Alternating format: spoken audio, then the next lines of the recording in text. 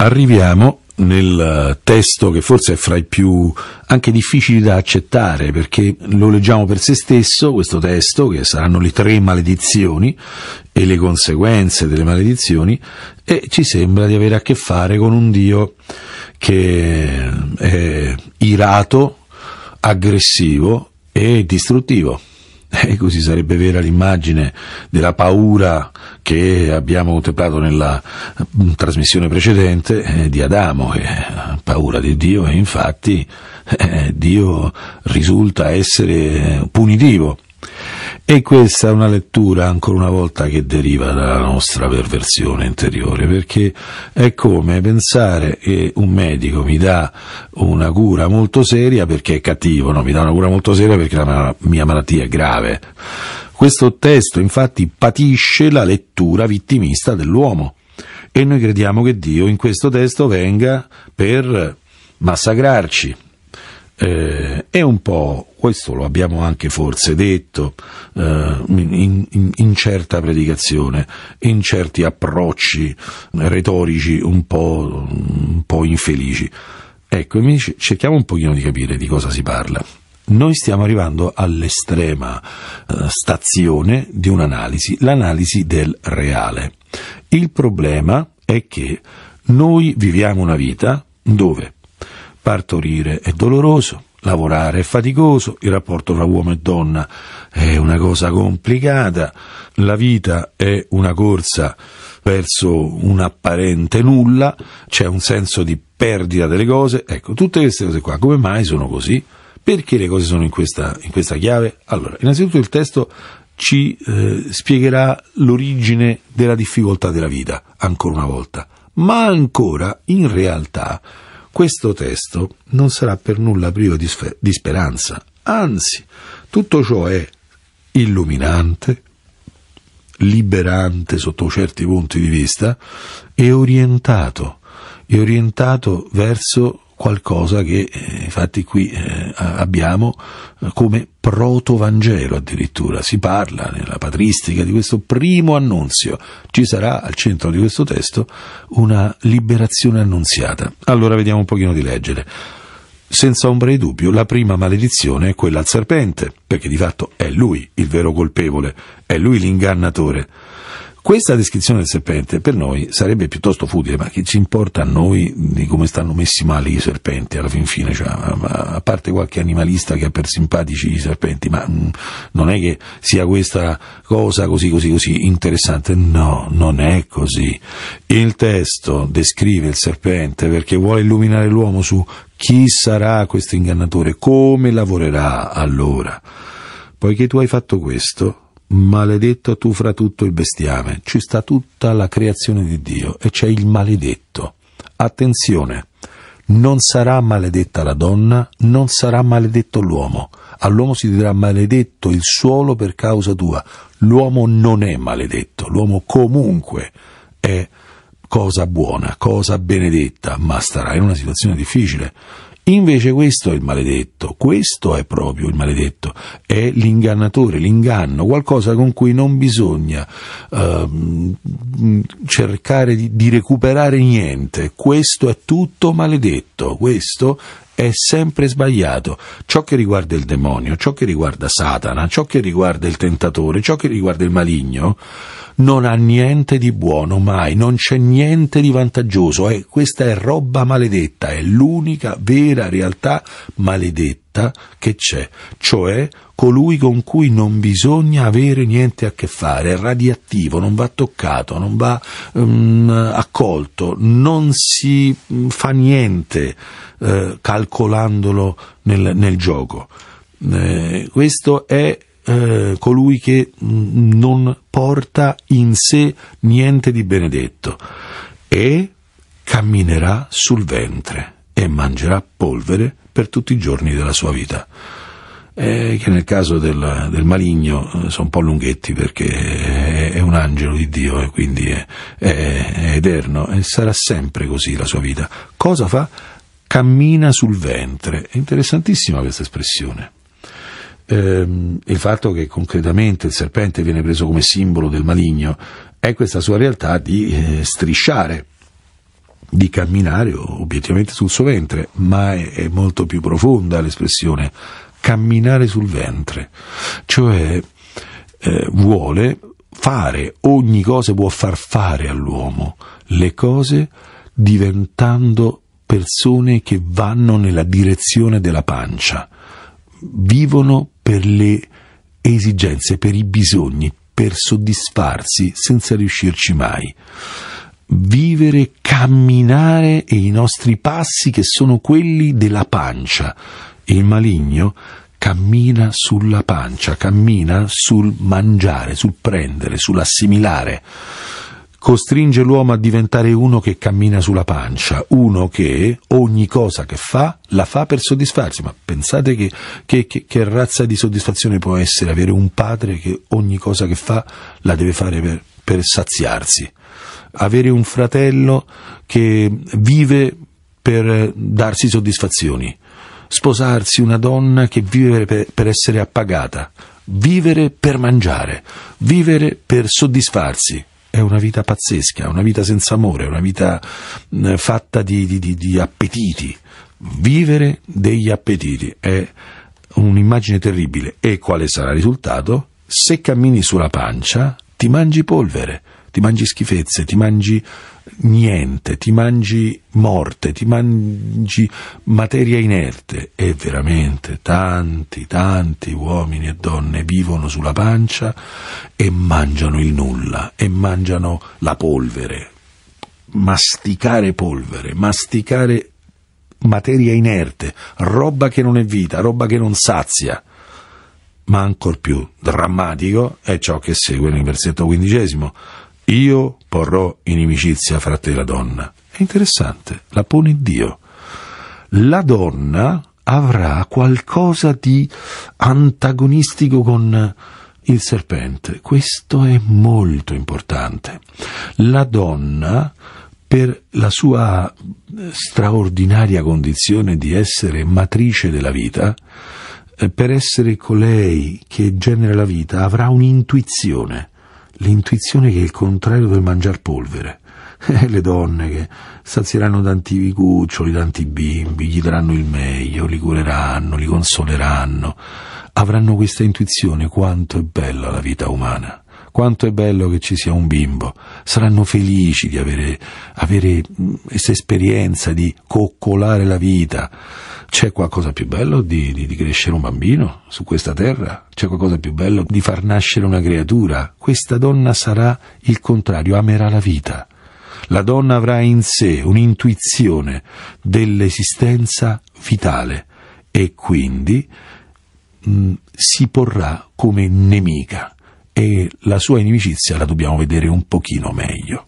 Ci sarà quindi inimicizia posta da Dio, è un'opera di Dio fra la stirpe del serpente e la stirpe della donna, ovvero sia il serpente genererà, avrà una stirpe. Il Vangelo di Giovanni parlerà addirittura del cuore dell'uomo che può diventare un cuore generato dal maligno.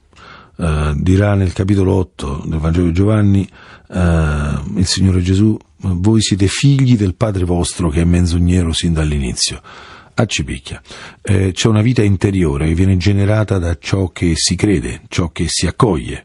E se uno accoglie la semente della menzogna, diventa figlio di quella semente, diventa frutto, diventa stirpe dirà Giovanni Battista, razza di vipere, chi vi ha insegnato a sfuggire all'ira imminente? È una citazione di questo testo. Infatti eh, il serpente, la vipera, insegna all'uomo a sfuggire alle conseguenze delle cose, cioè a peccare e pensare che non morirà non morirete affatto, sfuggire all'ira imminente, cioè ci sono delle cose collegate, eh, delle conseguenze negative collegate alle trasgressioni che il, la vipera, il serpente, insegna a non calcolare, a sfuggire, a non dargli importanza. E allora ci sono atteggiamenti che sono stirpe del serpente, ci sono eh, zone della nostra vita che sono mm, generate da un seme di menzogna, di inganno. E però c'è anche la stirpe della donna. Cosa vuol dire la stirpe della donna? Eh, il figlio, la figliolanza, ciò che nasce dalla vita, ciò che è vita, ciò che dall'uomo può nascere. L'uomo ha questa potenzialità che nel Signore Gesù la scopriremo fino in fondo. La carne umana, dice Sant'Ireneo di Lione, uno dei primi padri della Chiesa, è capace di Dio. Nel, la carne umana può generare eh, l'accoglienza di Dio, può credere in Dio, può lasciarsi salvare da Dio. E questa è una dinamica nemica della dinamica generata dalla menzogna. C'è una lotta interiore. Dice il capitolo quinto della lettera ai Galati, seguite i desideri dello spirito e non sarete portati a soddisfare i desideri della carne. Eh, infatti la carne ha desideri contrari allo spirito, lo spirito ha desideri contrari alla carne, queste cose si oppongono a vicenda. E cioè c'è un'opposizione, c'è un'inimicizia, noi dobbiamo sapere entrare in questa inimicizia, è un dono questa inimicizia, perché se noi siamo conniventi con la nostra autodistruzione, eh, noi ci autodistruggeremo, c'è poco da fare. Se noi non siamo un po' nemici di ciò che ci fa male, se noi non siamo un po' um, contrapposti, dobbiamo ricordare che molto spesso nella vita spirituale l'inquietudine non è per nulla cattiva, è un luogo di trasformazione, un luogo di, di crescita, di rivalutazione, di giudizio interiore, di discrimine interiore. Questa inimicizia è un dono di Dio che l'uomo abbia nel cuore semente buona e semente cattiva, zizzania e grano, e questa è una condizione umana che è Dio che ha seminato il grano buono, che contrasta, nega la tendenza, la deriva autodistruttiva dell'uomo. Ed è interessante come viene descritta la battaglia, questa battaglia interiore. La stirpe dell'uomo, ciò che dall'uomo può nascere, ciò che nasce dalla donna, ciò che la maternità bella, felice della donna potrà generare, ti schiaccerà la testa e tu invece le insidierai il calcagno è interessante e questa traduzione cerca di rendere plasticamente l'idea no?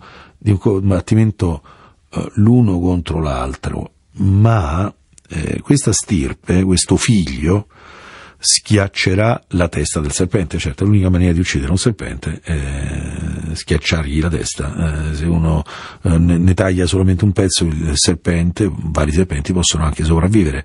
Però è interessante, schiaccerà la testa perché il problema del, del maligno è la testa, è, è la razionalità, è, è il rispondere eh, in maniera furba, mh, mm, con domande surrettizie, con, con sistemi, con strategie strategie subdole, eh, bisogna schiacciare la testa al serpente. Ma quando eh, parla invece di quello che farà il serpente, tu le insidierai il calcagno a questa stirpe.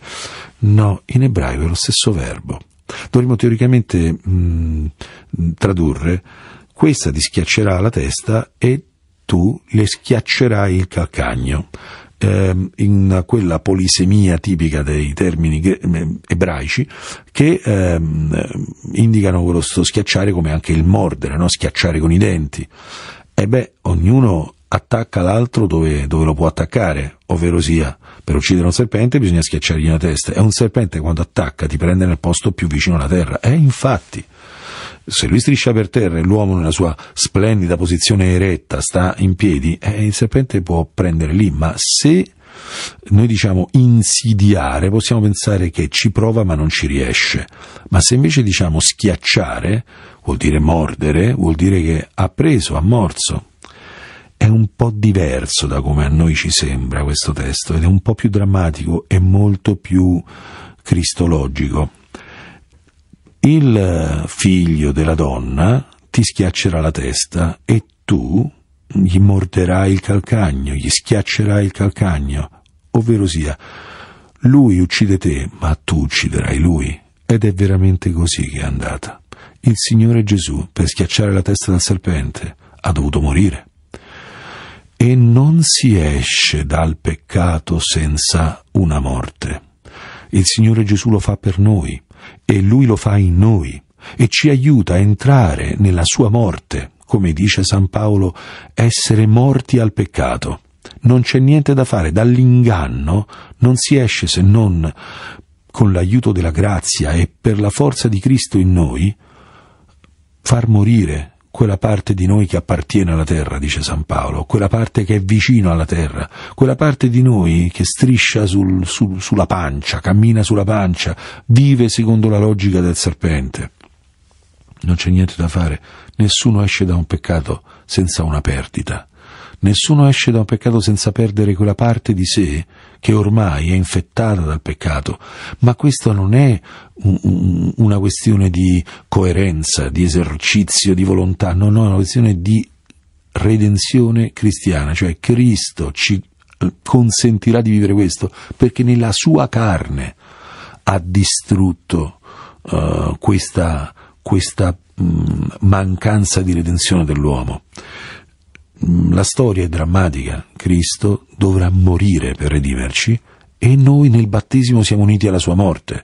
Non c'è niente da fare. Il serpente compirà la sua opera drammatica, devastante, e ci farà male, ci farà veramente male. Dovremo tagliare via il pezzo infettato, dovremo liberarci, essere purificati nel cuore. Il nostro cuore dovrà essere circonciso, dovremo perdere il pezzo che ha patito il morso del serpente. Illuminati quindi da questa prima maledizione, che vediamo che è piena anche di, di soluzione, eh, che ehm, illumina sul serpente e racconta della sua sconfitta, ecco vediamo qual è la condizione della persona umana.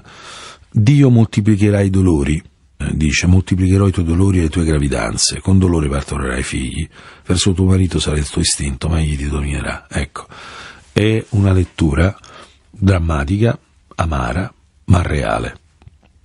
Il dolore della donna non è più illuminato, il dolore della donna sarà mm, moltiplicato perché ha perso il rapporto con Dio e Dio permetterà che la donna inizi un'esperienza, un'esperienza che è quella cosa che la porterà a riaggrapparsi a Dio seriamente, ad aprirsi alla salvezza di Dio, perché dovrà sperimentare fondamentalmente due cose, toccata nel dolore che eh, riguarda la sua maternità e la sua sponsalità.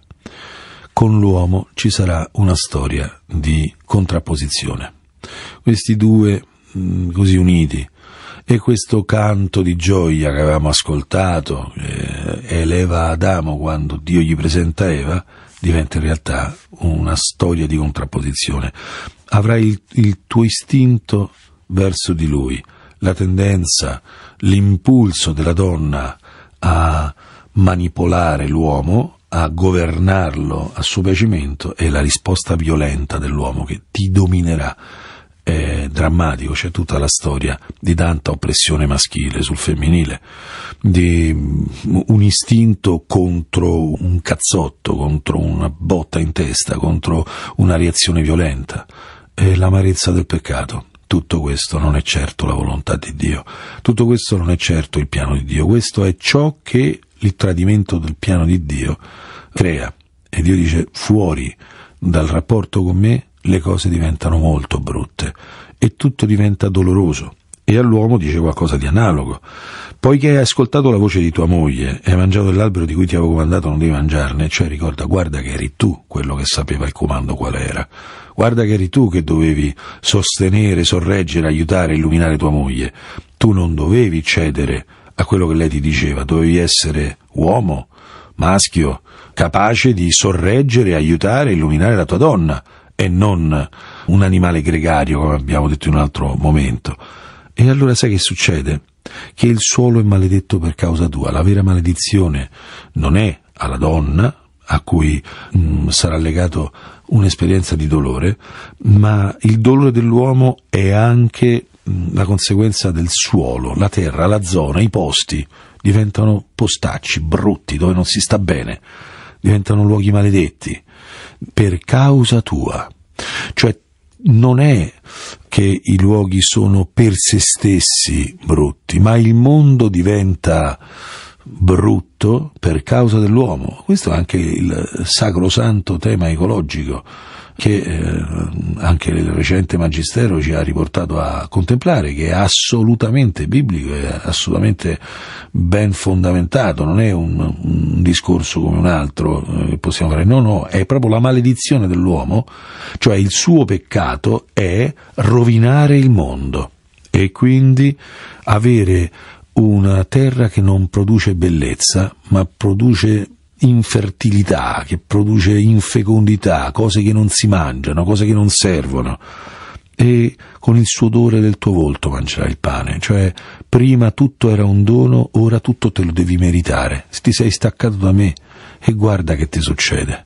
E proprio questo dolore sarà la tua medicina, proprio questo dolore sarà la cosa che ti farà svegliare e dire ma dove sto andando, ma cosa sto facendo?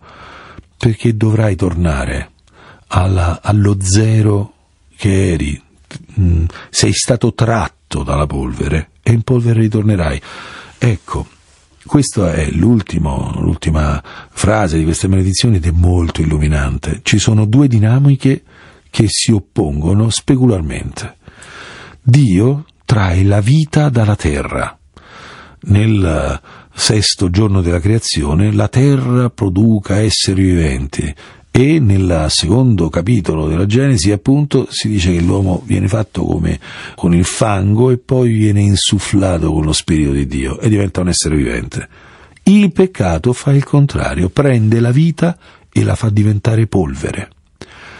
Dio porta la polvere a essere vita e il peccato prende la vita e la fa diventare morte, materia inerte. Ecco, essere senza Dio vuol dire essere solo polvere. Essere senza Dio vuol dire avere un solo destino, la morte, la nullificazione di se stessi.